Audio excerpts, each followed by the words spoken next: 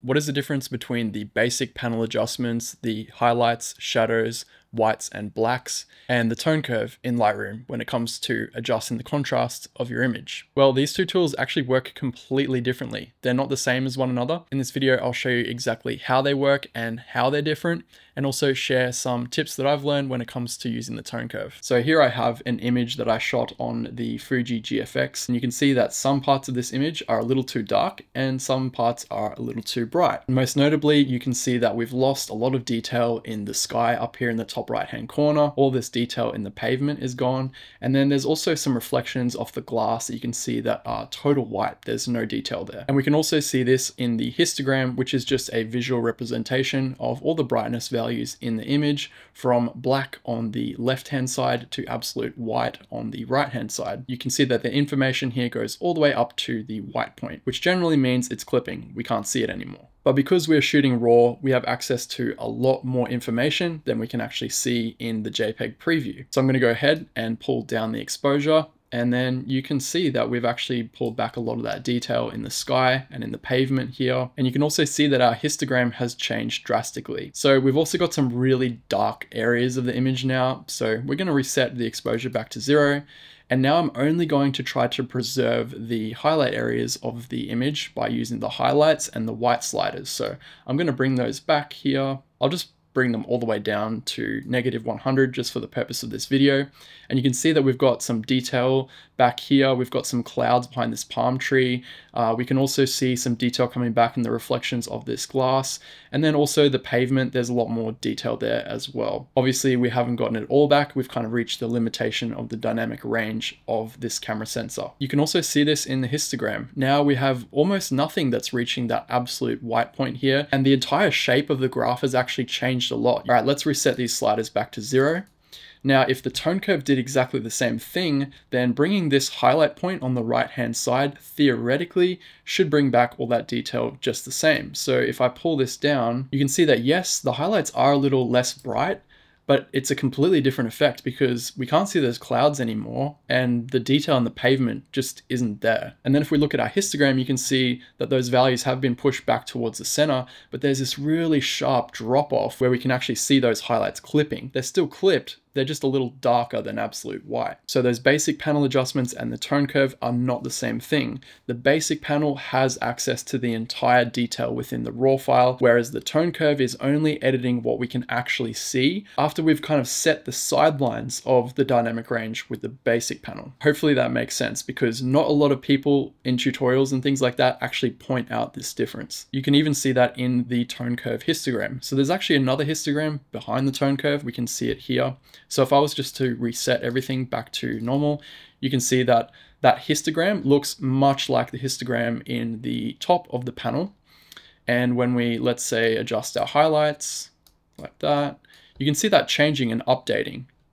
Now, if I was to reset these, and then let's say make an adjustment to our highlights and our shadows in the tone curve, that histogram doesn't change. So the way I like to think of it is that these basic panel adjustments, they sort of create the overall dynamic range that we want in our photo. So let's say we want a little bit of that highlight detail back. We want to bring back a little bit of that shadow, and then we can start working with this image to make finer adjustments to the overall contrast using the tone curve. So for me, it's like a two layer system. You have the basic panel first that allows you to define the level of detail that you want across your image. And then the tone curve is just about making finer adjustments. So I've got a portrait image of Mia that I took here just to show you guys some different ways that you can use the tone curve. Now there are two different tone curves. So there's the parametric tone curve here and then the point curve. So the parametric is just a more simple version. So the points have already been drawn for you, and then you can use sliders. Maybe you're more familiar with sliders because most of Lightroom is based on sliders to adjust the different areas in the curve. You can also use these little tabs here to move those points back and forth, but in general, you're just going to be working with four different zones of the tone curve. The point curve, which is what I prefer,